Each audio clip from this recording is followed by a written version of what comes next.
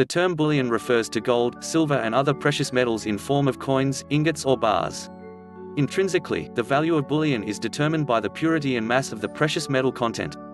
However, from time immemorial gold bullion has proven to be short and or long-term solution during dangling financial situations.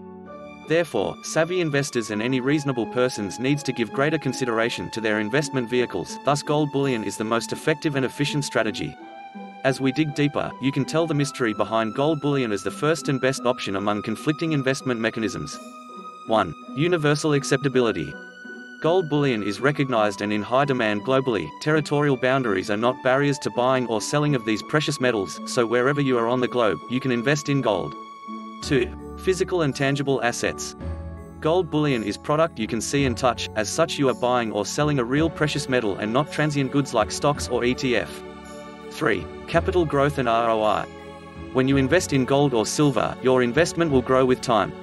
It a common saying in the UK that gold is the best performing asset of 21st century. Based on available statistics, from 1999 to date, gold has a growth of about 330% compare with FTSE and housing market with growth of 173% and 231% respectively. 4. Inheritance retirement planning. Buying of gold is the present day's Solomon's wisdom of planning for retirement IRA and inheritance of your estate. The mere fact that you are buying physical asset gold, the propensity of growth and tax efficiency is an assurance that you will be financially strong at retirement and have worthwhile assets for your estate. 5. Safe haven. Investment in gold is antidote or assurance against inflation. In view of the increasing debts of strong nations like USA and UK, inflation is having negative impacts on paper currency, goods and services. During this worst economic scenario, the value of currency is eroded, prices of goods and services are increasing and this circumstance is a pleasurable time for gold because while currency value is decreasing, the value of gold is increasing with the pace of inflation. Therefore, the only route of escape to preserve your asset is to invest heavily on gold bullion. For instance, George Soros and Warren Buffett have gold investment worth about $50 billion and $31 billion respectively. 6. Tax exemption gold has tax advantage and certain types of gold are tax-free. Also, it not mandatory to make returns to IR. 7. Low price. Provided you are tactical and strategic about your investment and future, you can predict with absolute certainty and buy when the price is slightly down in anticipation that your investment will grow with passage of time. If you are naive about the strategies, you can engage the service of professional at a reasonable fee. 8. Financial market.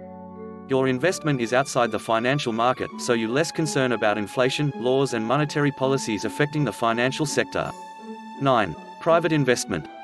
Your investment is personal, no need of registration with any government agency and no mandatory laws as to how you should invest your hard-earned money, compared with corporate world with several investment do's and don'ts. 10. Scarcity. Gold is finite in supply that is the availability is limited. The law of demand and supply says, the higher the demand the lower the supply. This is true about gold being an ostentatious goods. In light of these revelations, what is now your investment decision about gold? Your decision will determine your financial destiny.